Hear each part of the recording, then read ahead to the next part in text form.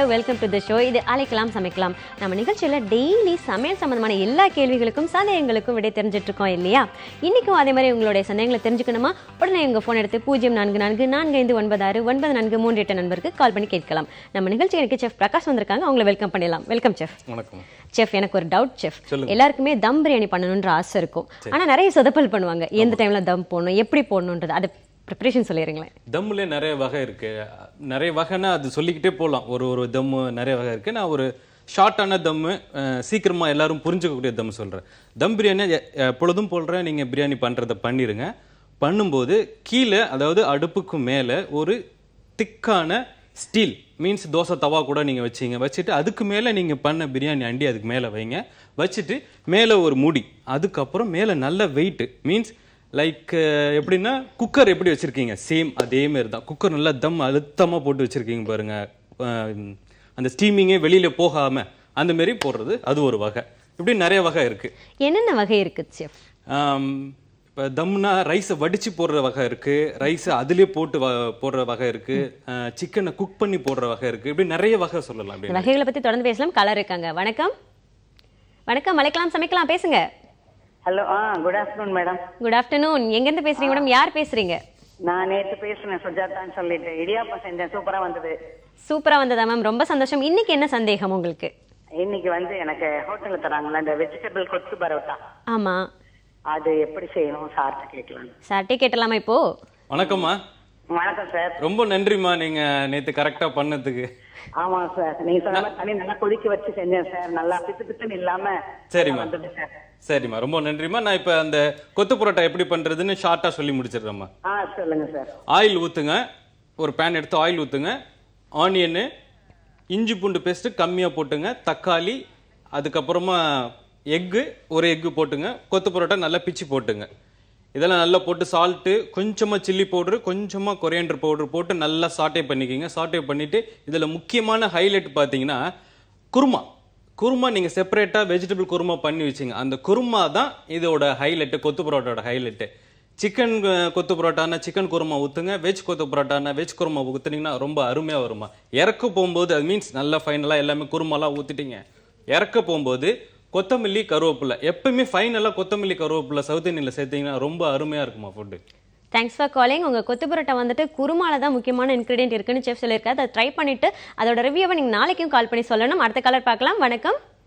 வணக்கம். மேம் லைன்ல இருக்கீங்க. பேசுங்க.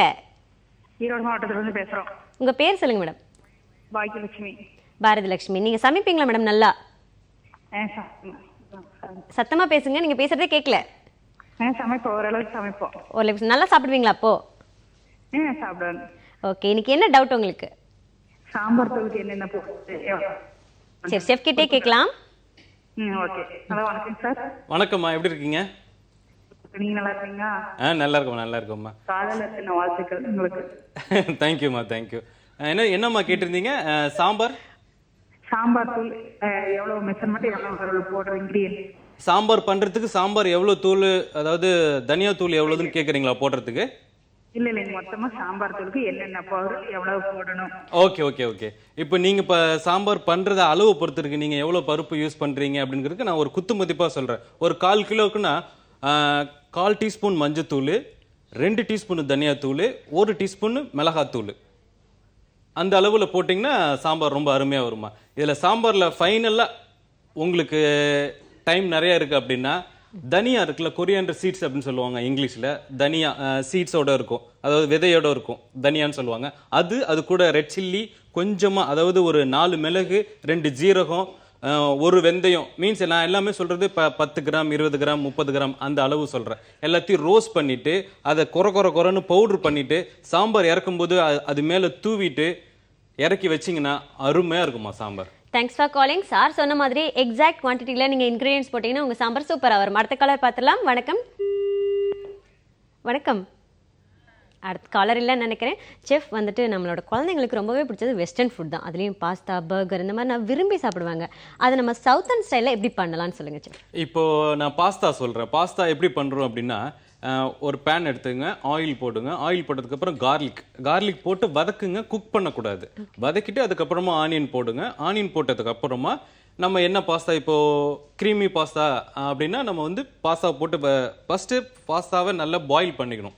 நல்ல பாயில் மீன்ஸ் ஒரு டென் செகண்ட் போதும் பாயில் ஆகிறதுக்கு பாயில் பண்ணும்போது தண்ணி ஊற்றிங்க தண்ணி ஊற்றி அதில் ஆயில் போட்டு லைட்டாக சால்ட்டு போட்டுங்க. ஏன்னா அந்த பாஸ்தாவில் சால்ட்டு ஆட் ஆகணும்.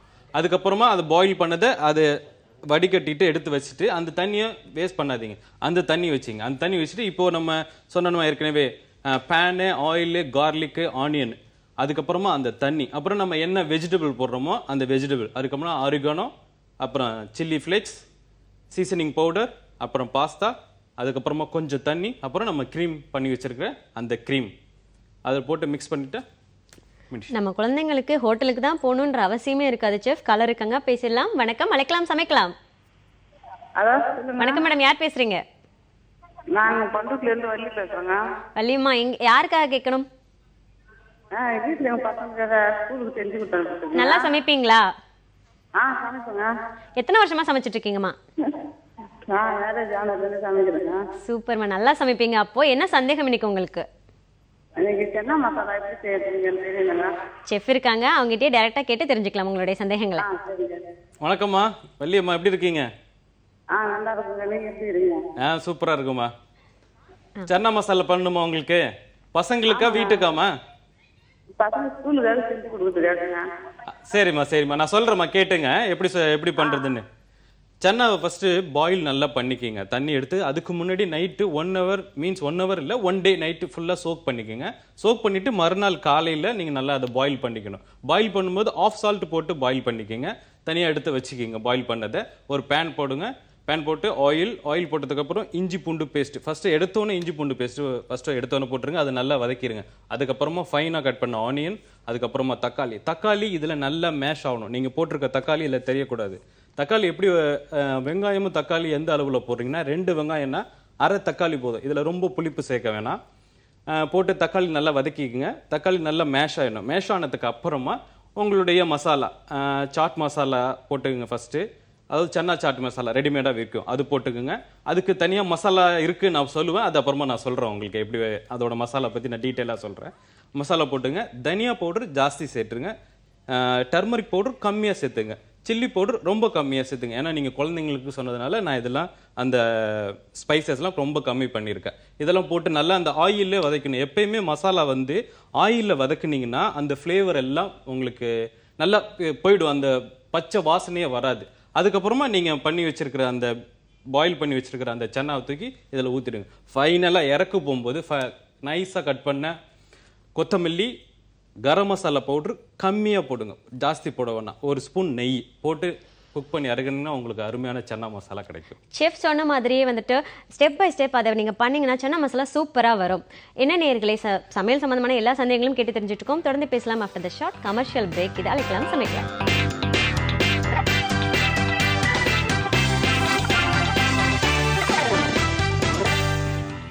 Welcome back to the show இது அழைக்கலாம் சமைக்கலாம். சமையல் சம்பந்தமான எல்லா கேள்விகளுக்கும் நீங்க கால் பண்ணி கேட்கலாம். அழைக்க வேண்டிய எண்கள் பூஜ்ஜியம் நான்கு நான்கு நான்கு ஐந்து ஒன்பது ஆறு ஒன்பது நாலு மூன்று எட்டு. செஃப் இருக்காரு நீங்க பேசலாம். செஃப் இங்க வந்துட்டு பர்கர் பண்றோம் இல்லையா? பசங்களுக்கும் சரி எனக்கும் ரொம்ப ரொம்ப பிடிக்கும். அதுல வந்துட்டு சவுத் இந்தியன் இன்கிரீடியன்ஸ் வச்சு அது அதே டேஸ்ட்ல எப்படி பண்ண முடியும்? சவுத் இந்தியன் டேஸ்ட்லயே கண்டிப்பா கண்டிப்பா பண்ணலாம். எப்படி பண்றது? நீங்க பாத்தீங்கன்னா பர்கர் பண்றதுக்கு பர்கர் பன்னு வச்சு நீங்க பண்ணலாம். பர்கர் பன்னு வச்சு நம்ம அடுத்த இதுல நான் சொல்றேன் நான். இப்ப சாதாரண நம்ம வீட்ல செய்யற தோசையை வச்சு நான் எப்படி பண்றேன் மினி அதாவது மினி ஊத்தாப்பம் அப்படின்னு சொல்லுவாங்க. அதை மாதிரி போட்டுங்க. நல்ல சாஃப்டான ஊத்தாப்பம். அந்த ஊத்தாப்பம் எதுல போடுறீங்கன்னா தோசை மாவுல போடக்கூடாது. இட்லி மாவுல தான் போடணும். இட்லி மாவுல போட்டாதான் அது கடிக்கும் போது நல்ல சாஃப்டா வரும். தோசை மாவுல போட்டீங்கன்னா ஆஸ் யூஷுவல் நம்ம தோசை சாப்பிடுற மாதிரி தான் இருக்கும். ஃபர்ஸ்ட் பாயிண்ட் அது. வீட்லயே நம்ம பர்கர் செஞ்சு சாப்பிடலாம். காலர் இருக்காங்க பேசலாம் தொடர்ந்து பேசலாம். வணக்கம். அழைக்கலாம் சமைக்கலாம்? Hello hello madam. வணக்கம் மேடம். யார் பேசுறீங்க? திருச்சியிலேருந்து பேசுகிறோம் உங்க பேர் சொல்லிடுங்களேன். பிபிஜா நல்லா சமைப்பீங்களா தீபிகா? ஹலோ? நல்லா சமைப்பீங்களா தீபிகா? ஆ பரவாயில்லாம சமைப்பேன். எத்தனை வருஷமா சமைச்சிட்டு இருக்கீங்க சூப்பருங்க. அப்புறம் ஏன் அவ்வளவுதான் சொல்றீங்க? சரி ஓகே என்ன சந்தேகம் இன்னைக்கு உங்களுக்கு? எனக்கு இந்த இடியாப்பம் எப்படி செய்யறதுன்னு கொஞ்சம் சொல்ல சொல்லுங்க. அப்புறம் பேபிகார்ன் வந்து என்ன மாதிரி செய்யலாம் ரெண்டு இதையும் கேட்கணும். ரெண்டுமே கேட்டலாம் செஃப் கிட்ட பேசலாம். வணக்கம்மா. தீபிகா எப்படி இருக்கீங்க? ஹலோ சார் நல்லா இருக்கேன் சார் சரிம்மா சரி. இடியாப்பம் உங்களுக்கு எப்படி பண்ண இடியாப்பம் எப்படி செஞ்சாலும் வரவே மாட்டேங்குது சார் நல்லாவே. சரிம்மா சரிம்மா. இடியாப்பம் உங்களுக்கு ரொம்ப பிடிக்குமா? சொல்றாங்க. ஆ பிடிக்கும் சார் சரி சரி சரி. ரொம்ப பிடிக்கும். சரிம்மா சரிம்மா. இடியாப்பத்தில் நிறைய ஃப்ளேவர் இருக்கு. நான் ஒரு பேசிக் இடியாப்பம் மட்டும் நான் சொல்றேன் உங்களுக்கு. அதுக்கப்புறம் இன்னொன்று கேட்டிருந்தீங்க கான் எப்படி பண்ணணும் கரெக்ட்டுங்களா? ஆமா சார் கான்லேயே நிறைய வகை இருக்குமா? கான் சாதம் பண்ணலாம் கான் பிரியாணி பண்ணலாம் நிறைய இருக்கு. நான் இடியாப்பத்தை ஃபர்ஸ்ட் சொல்றேன் உங்களுக்கு. ஓகேங்களா? ஃபர்ஸ்ட் இடியாப்பம் பார்த்தீங்கன்னா ரொம்ப சிம்பிள் தான் இடியாப்பம். அரிசி மாவை நீங்க வீட்டிலேயே பண்ணீங்கன்னா அது ஒரு டேஸ்ட் கிடைக்கும். ரெடிமேடா வாங்கி பண்ணீங்கன்னா அது ஒரு டேஸ்ட் கிடைக்கும். நான் ரெடிமேடா வாங்கி பண்றதை சொல்றேன். வீட்டில் நீங்க அதே அரிசி மாவு அரிசி மாட்டு மாவு மட்டும் தான் டிஃப்ரெண்ட் ஆகும் அரிசி மாவு வாங்குங்க. வாங்கினோடனே தண்ணி வச்சுங்க. தண்ணி அதாவது ஒரு பேனு தண்ணி போட்டு நல்லா கொதிக்க விடுங்க. மீன்ஸ் கொதிக்க விடுங்க மீன்ஸ் ஜஸ்ட் ஒரு கொதி வந்தோடனே அதில் தேங்காய் எண்ணெய் ஊற்றிடுங்க ஒரு ஸ்பூன் ஊற்றினதுக்கப்புறம் அதை இறக்கிடுங்க. இறக்கிட்டு அரிசி மாவை அதில் போட்டு நல்லா மிக்ஸ் பண்ணுங்க. ஆஸ் யூஷுவல் நீங்கள் நம்ம எப்படி இந்த தீபாவளிக்கு அந்த இது பண்ணுவோமோ சுழியன் பண்ணுவோமோ அதேமாரிக்கே நல்லா மிக்ஸ் பண்ணுங்கள் டைட்டாக ஆனதுக்கப்புறம் மீடியம் டைட் இருக்கணும். ரொம்ப டைட் இருக்கக்கூடாது. டைட் ஆனால் நம்ம உரலில் ஆஸ் யூஷுவல் எப்போ வீட்டில் எப்படி இருக்குமோ அதே உரலில் சுற்றி பண்ணலாம். அந்த பதம் தான் நீங்கள் லூஸாக பண்ணிங்கன்னா இடியாப்பம் சரியாக வராது. வேக வைக்கும்போது அப்படியே தண்ணி ஆகிடும் அந்த டைட் அதோட பதம் தான் இருக்குது அது சொன்னால் புரியாது அது. ஒரு வாட்டி நான் செஞ்சு காமிக்கிறேன் நான். ஃபியூச்சரில் கண்டிப்பாக நான் செஞ்சு காமிப்பேன். அப்போ உங்களுக்கு அது புரியும் அதோட ஸ்ட்ரக்சர் எப்படின்ட்டு. இன்னொன்று கேட்டிருந்தீங்க கான். கான் பற்றி பார்த்தீங்கன்னா சேம் ஒரு ஷார்ட்டான ஒரு மசாலா சொல்லிடுறேன் உங்களுக்கு. ஆயில் ஆயில் ஒரு பேனு ஆயிலு ஆனியனு ஆனியன் ஃபைனாக சாப் பண்ணிங்க இஞ்சி பூண்டு பேஸ்ட்டு அதுக்கப்புறமா தக்காளி. ரெண்டு ஆனியனு ஒரு தக்காளி போதும். தக்காளி நல்லா மேஷ் ஆகணும். மேஷ் ஆனதுக்கப்புறம் கொஞ்சமாக டர்மரிக் பவுட்ரு கொஞ்சமாக சில்லி பவுட்ரு ரெண்டு ஸ்பூன் தனியா பவுட்ரு தனியா பவுட்ரு எப்பயுமே நிறைய சேர்த்துங்க. சில்லி பவுட்ரு கம்மியாக சேர்த்துங்க.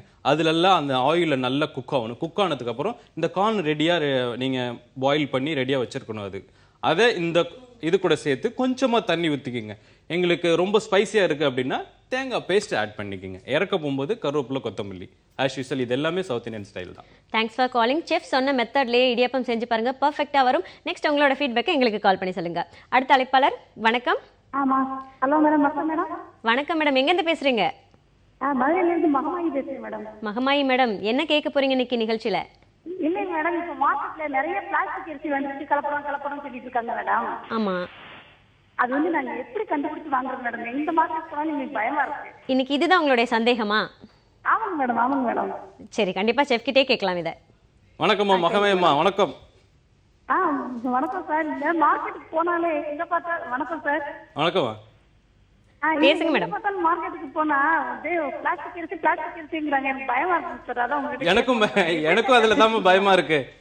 உங்களுக்காவது பிளாஸ்டிக் அரிசியில பயமா இருக்கு. என்னோட வாட்ஸ்அப்ல நிறைய பாத்தீங்கன்னா முட்டைக்கோசு கேரட்டு எல்லாத்துலயுமே இப்ப பிளாஸ்டிக் வந்துருச்சுமா நம்ம ஊருக்குள்ள இன்னும் வரலமா அது.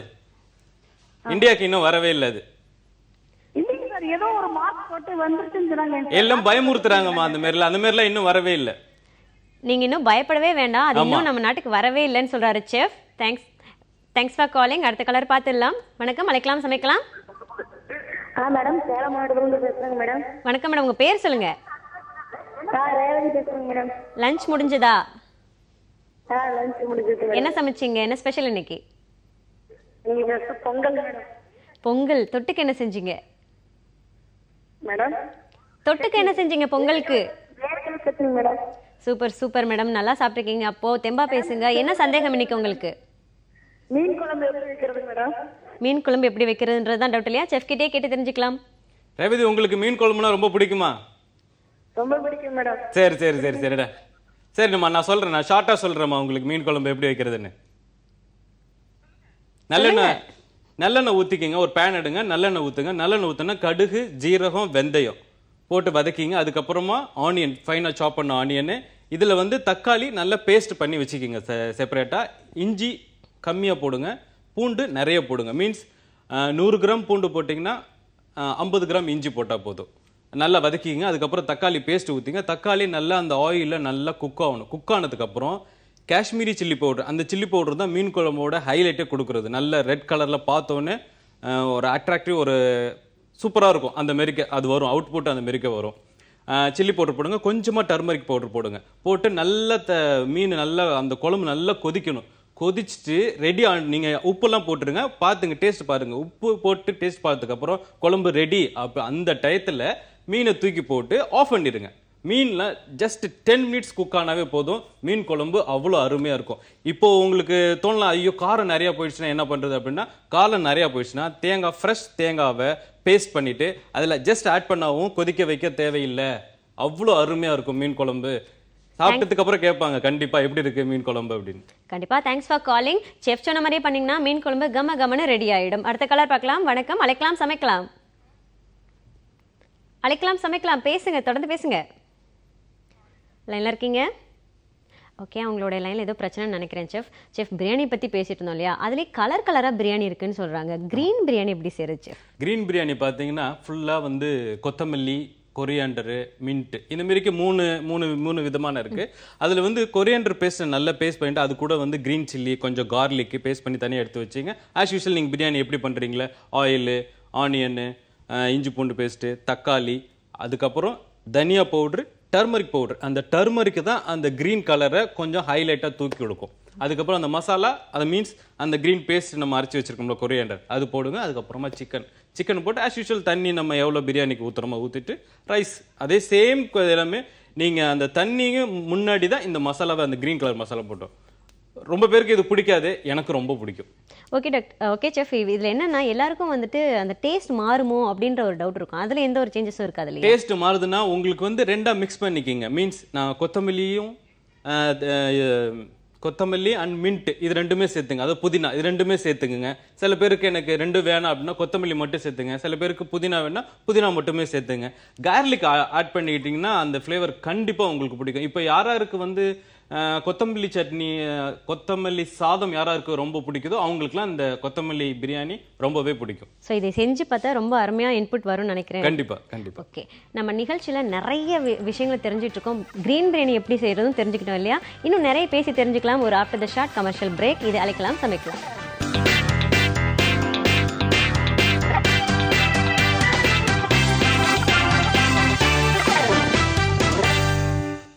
Welcome back to the show இது அழைக்கலாம் சமைக்கலாம். உங்களுடைய சமையல் சந்தேகங்கள் எல்லாத்தையும் எங்களுக்கு கால் பண்ணி கேளுங்க. அழைக்க வேண்டிய எண்கள் பூஜ்ஜியம் நான்கு நான்கு நான்கு ஐந்து ஒன்பது ஆறு ஒன்பது நான்கு மூன்று எட்டு. நம்ம கூட இன்னைக்கு செஃப் பிரகாஷ் இருக்காரு. அவர்கிட்டயும் பேசலாம்.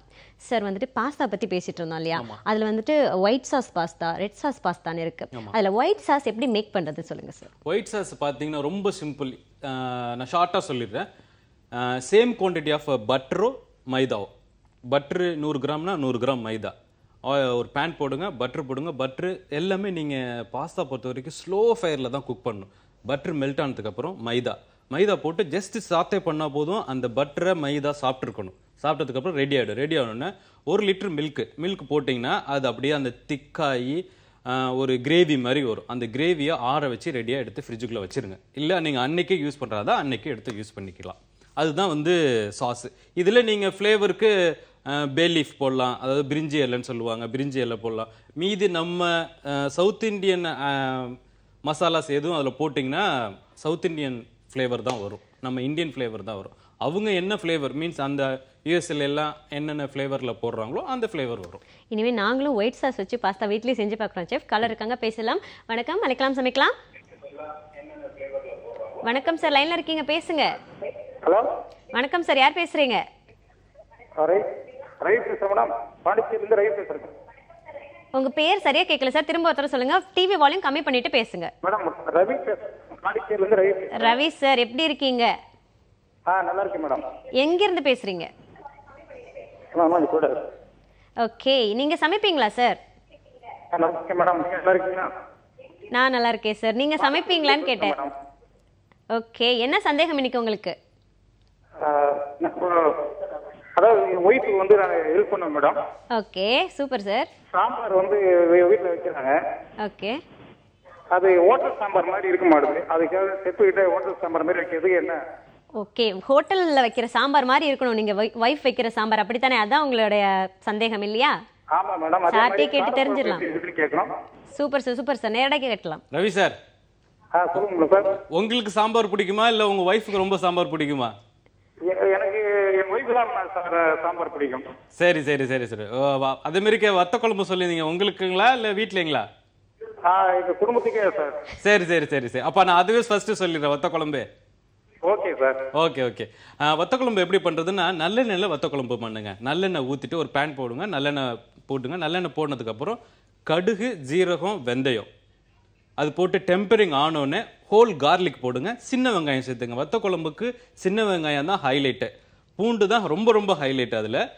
பூண்டு சின்ன வெங்காயம் அதுக்கப்புறமா மஞ்சத்தூள் கம்மியாக மீன்ஸ் கால் ஸ்பூனு ஒரு ஸ்பூனு சில்லி பவுட்ரு ரெண்டரை ஸ்பூனு தனியா பவுடர். தனியா பவுட்ரு தான் அந்த வத்த குழம்போட அந்த திக்னிக் ஏஜென்ட்டு திக்காக ரொம்ப அருமையாக வரும் அந்த இது ஃபைனலாக வரும்போது. அதுக்கப்புறம் தக்காளி இப்போ ரெண்டு வெங்காயம் போடுறீங்கன்னா நாலு தக்காளி அரைச்சிக்கணும். நல்லா பேஸ்ட்டாக அரைச்சிக்கணும். நல்லா நைஸாக இருக்கணும். அதில் தோல் இருக்கக்கூடாது. அதுக்கப்புறமா இந்த ஆயில் போட்டு நம்ம எல்லாமே வதக்கிடுறோம்ல இந்த சில்லி பவுட்ரு கொரியாண்டர் பவுட்ரு தனியா பவுட்ரு எல்லாம் போட்டு வதக்கினதுக்கப்புறம் இந்த பேஸ்ட் டொமேட்டோ பேஸ்ட்டை போட்டு நல்லா கொதிக்க விடுங்க. கொதிச்ச உடனே வெளியில் அந்த ஆயில் உள்ளே உள்ள ஆயில் நம்ம குக் பண்ணும்போது வெளியில் வந்துடும் அந்த மேலே வரும்போது ஆஃப் பண்ணிடுங்க. இதில் தேவைன்னா உங்களுக்கு கொத்தரங்காய் வத்தல் போடலாம் சுண்டைக்காய் வத்தலை ஃப்ரை பண்ணிட்டு அதில் போடலாம் இல்லை ஊற வச்சு ஃப்ரை பண்ணி போடலாம். இப்படி நிறைய வகை இருக்குது இறக்க போகும்போது இது போட்டுங்க. அது பேர் என்ன? பெருங்காயத்தூள் போடுங்க கருவேப்பிலை போடுங்க கொத்தமல்லி போடுங்க. சார் சாம்பாரும் கேட்டிருந்தாரு அதே சொல்லிடுங்க. சாம்பார் இப்போ பார்த்தீங்கன்னா ரொம்ப அதாவது ஹோட்டல் சாம்பார் கேட்டிருந்தாங்க. சாம்பார் பார்த்தீங்கன்னா சாதாரண ஆயில் ரீஃபண்ட் ஆயில் ஆயில் அதுக்கப்புறம் கார்லிக் போடுங்க. சாம்பாரில் எப்பயுமே கார்லிக் மீன்ஸ் நான் கடுகு ஜீரகம் வெந்தயம் அதெல்லாம் போட்டதுக்கப்புறம் கார்லிக் ஃபைனாக சாப் பண்ணிட்டு கார்லிக் போட்டுங்க. ஆனியனு அதுக்கப்புறமா தக்காளி அப்புறம் என்ன வெஜிடபிள் போடுறீங்களோ நீங்கள் உங்களுக்கு வீட்டில் சாம்பார் ஹோட்டலில் மோஸ்ட்லி பார்த்தீங்கன்னா எல்லாருமே வந்து முருங்கைக்காய் சாம்பார் தான் வைக்கிறாங்க. முருங்கைக்காய் கேரட் பீன்ஸ் நீங்கள் வீட்டில் வந்து வேறு வெஜிடபிள் போட்டு வச்சுருப்பீங்க. அதனால தான் உங்களுக்கு வீட்டு சாம்பார் பிடிக்க மாட்டேங்குது அப்படின்னு சொல்கிறாங்க மற்றபடி டிஃப்ரென்ஸ்லாம் நிறைய மசாலா இருக்குது அது மசாலா அரைச்சி போட்டிங்கன்னா வரும் அது. ஆஸ் யூஷுவல் சேம் சாம்பார் தான். நீங்கள் முருங்கைக்காய் போட்டு ஒரு நாளைக்கு சாம்பார் பண்ணி பாருங்கள் ரொம்ப அருமையாக வரும். தேங்க்ஸ் ஃபார் காலிங் செஃப் சொன்ன மாதிரி நீங்கள் பண்ணி பார்த்தீங்கன்னா நீங்கள் உங்களோட ஒய்ஃப் பண்ணுற சாம்பாரும் சரி வத்த குழம்பும் சரி ஹோட்டலில் பண்ணுற மாதிரி அருமையாக வரும். அடுத்த கலர் பார்க்கலாம். வணக்கம் அழைக்கலாம் சமைக்கலாம். வணக்கம் அழைக்கலாம் சமைக்கலாம். பேசுங்க லைனில் இருக்கீங்க. லைனில் இருக்கீங்க பேசுங்க. அவங்களுடைய கனெக்ஷனில் ஏதோ ப்ராப்ளம் நினைக்கிறேன். சார் வந்துட்டு மோர் குழம்பு வந்துட்டு எல்லாரும் பிரியப்பட்டு சாப்பிடுவாங்க. ஹோட்டல் போனாலே கேட்டு வாங்கி சாப்பிடுவாங்க. ஆனால் வீட்டில் வைக்க தெரியாமல் ட்ரை கூட பண்ண மாட்டாங்க. அதோடைய ப்ரிப்பரேஷன் பற்றி சொல்லுங்கள் சார் மோர் குழம்பு நான் நேற்றே சொல்லிட்டேன். இன்னொரு தடவை நான் சொல்கிறேன் நல்லா தெளிவாகவே சொல்லிடுறேன். மோர் குழம்புக்கு வந்து தயிர் எடுத்துங்க. தயிரில் வந்து கொஞ்சமாக அதாவது ஒரு கப்பு தயிர்னா இவ்வளோது கடலமாவு அது தண்ணியில் கரைச்சிக்கிங்க. அதுவும் இதில் ஊற்றிடுங்க தேங்காய் பேஸ்ட்டு தேங்காய் ஜீரகம் பச்சை மிளகாய் அதுவும் இதில் கரைச்சி ஊற்றிங்க இதை நல்லா பீட் பண்ணிடுங்க. மீன்ஸ் இந்த விஸ்க் வச்சு நல்லா பண்ணிவிட்டு இதை தனியாக நல்லா கொதிக்க விடுங்க. நல்லா கொதித்து அந்த பச்சை வா- வாசனை நல்லா போகணும். போனதுக்கப்புறம் தனியாக ஒரு பேனில் எடுத்துகிட்டு தேங்காய் எண்ணெய் ஊற்றுங்க தேங்காய் எண்ணெய் ஊற்றிட்டு கடுகு ஜீரகம் உளுந்து வெந்தயம் போட்டு வதக்கிட்டு அதுக்கப்புறமா ஃபைனாக சாப் பண்ண இஞ்சி. இஞ்சி போட்டு வதக்கிட்டு அதுக்கப்புறமா கருவேப்பில்லை கருவேப்பிலை போட்டதுக்கப்புறம் பெருங்காயத்தூள். ஃபைனலாக பெருங்காயத்தூள் போட்டு இறக்கிடுங்க அந்த பேன் தாளிக்கிற பேன் எடுத்து அதில் ஊற்றிடுங்க அந்த மோர் குழம்புல. ஊற்றிட்டு நல்லா கொதி வந்தோடனே உப்பு பார்த்துட்டு இறக்கிடுங்க அந்த நான் சொன்ன அந்த தயிர் அந்த மசாலாலாம் போட்டுக்கணும் அதில் கொஞ்சமாக மஞ்சத்தூள் போட்டுங்க. அந்த மஞ்சத்தூள் போட்டிங்கன்னா அந்த கலரு ரொம்ப அட்ராக்டிவாக வரும். உங்களுக்கு என்ன வெஜிடபிள் வருமோ லாஸ்ட்டாக வெஜிடபிள் ஆட் பண்ணுங்க. எப்பயுமே முன்னாடி சில வெஜிடபிள் வந்து ஃப்ரை பண்ணி தான் போடணும். சில வெஜிடபிளில் அதில் போட்டு குக் பண்ணலாம். இப்படி நிறைய வகை இருக்கு. என்னென்ன வெஜிடபிள்ஸ் போடலாம் செஃப் ஆஹ் இப்போ மோர் குழம்புனா பூசணிக்காய் போடலாம் சொரக்காய் போடலாம் வெண்டைக்காய் போடலாம் கத்திரிக்காய் போடலாம். இப்படி எல்லாமே தனித்தனியாக போடணும். நம்ம சாம்பார் மணிக்கு ரெண்டு காய் போட்டு வைக்க முடியாது. தனித்தனியாக காய் போட்டு வச்சிங்கன்னா ரொம்ப அருமையாக இருக்கும். ஓகே செஃப் நீங்க சொன்ன மாதிரியே முறுக்கலாம் பண்ணி பார்க்கலாம். கலர் இருக்காங்க. வணக்கம். அழைக்கலாம். சமைக்கலாம். ஹலோ ஹலோ குட் ஆஃப்டர்நூன் யார் பேசுறீங்க? மேடம் நான் பாம்பேல இருந்து பேசுறேன். உங்க பேர் சொல்லுங்க. என் பேரு ரமா. ரமா நீங்க சமைப்பீங்களா ரமா? ஆ நான் சமைப்பேன். எத்தனை வயசாகுது உங்களுக்கு? ஐயோ எனக்கு முப்பத்தி ரெண்டாவது நான் ஒன்பது வயசு. ஐயோ குழந்தை மாதிரி இருக்குங்க உங்க வாய்ஸ் அதனால தான் உங்களுக்கு சமைக்க தெரியுமான்னு கேட்டேன். Super super. எத்தனை வருஷமா சமைச்சிட்டு இருக்கீங்க? மேடம் ஒன்பது வயசுல முப்பத்தி ரெண்டு வயசு. இத்தனை வருஷமா சமையல் தான் மேடம் எனக்கு எல்லாமே. அருமை அருமை மேடம். டிஃபன் சர்வீஸ் எல்லாம் பண்ணிட்டு இருந்தேன். Super madam. என்ன சந்தேகம் உங்களுக்கு இன்னைக்கு? மேடம் ப்ளீஸ் மேடம் அவர் ரொம்ப அழகா சொல்றாரு. இந்த முறுக்கு என் வீட்டுக்காருக்கு ரொம்ப பிடிக்கும். ஆனா முறுக்கு வந்து எனக்கு எப்படி செய்யணும்னு தெரியாது மாவு. கண்டிப்பா கேட்டு தெரிஞ்சுக்கலாம். செஃப் இருக்காரு கவலையே படாதீங்க. ரெண்டாவது வந்து மேடம் இன்னொன்னு ப்ளீஸ் முறுக்கு வேக வச்சேன்னா வெள்ளையா எடுத்துருவோம்ல. ஆமா. மெது மெதுன்னு ஆயிடுது. சரி ஓகே. நம்ம வந்து செஃப் கிட்டே கேட்டலாம் இருக்கணும் முறுமுறுன்னு இருக்கணும். அப்புறம் அது மாவு அளவு. சரிம்மா. சார் தேங்க்யூ நான் நான் இப்போ சொல்றேம்மா உங்களுக்கு நீங்க ரொம்ப இதா பே- பேசிட்டீங்க பதட்டத்தோட பதட்டமா இருக்காங்க. ஆமா பதட்டத்தோட பேசிட்டீங்க. நான் இப்ப உங்களுக்கு சொல்றேம்மா முறுக்கு எப்படி பண்- முறுக்கு ஒன்றும் பெரிய விஷயம் இல்லைம்மா. அதுல ஒரு எல்லாமே டெக்னிக்கல் தாம்மா. சமையலை பொறுத்த வரைக்கும் அந்த கொஞ்சம் இந்த இதை ஆட் பண்ணா போதும். அதோட அவுட்புட் ரொம்ப அருமையா வரும். இப்போ முறுக்கு பார்த்தீங்கன்னா பட்டர் போடுங்கம்மா. பட்டர் நீங்க சாதாரணமா எப்பயுமே என்ன பண்றீங்களோ வீட்டில் அது பண்ணும்போது ஆயில் போடாதீங்க. பட்டர் போட்டிங்கன்னா முறுக்கு அவ்வளோ சாஃப்டா வரும். நீங்க கொஞ்ச நேரம் குக் பண்ணாவே போதும். அந்த அவுட்புட் ரொம்ப நல்லாவே வருமா? Thank you so much for calling chef வந்துட்டு நம்ம வியூவர்ஸ் கேட்ட எல்லா கேள்விகளுக்குமே ரொம்ப அருமையாக ப்ரிப்பரேஷனோட எல்லாமே மெத்தட்ஸோட சொல்லியிருந்தீங்க சார் தேங்க்யூ ஸோ மச் நேர்கள் இன்னைக்கு நம்ம நிகழ்ச்சியில் சமையல் சம்பந்தமான நிறைய விஷயங்களை கேட்டு தெரிஞ்சுக்கிட்டோம். உங்களுடைய சந்தேகங்களுக்கும் தீர்வுகள் கிடைச்சிருக்கு. நம்புறோம் மீண்டும் உங்களை நாளை சந்திக்கும் வரை நன்றி வணக்கம். இது அழைக்கலாம் சமைக்கலாம்.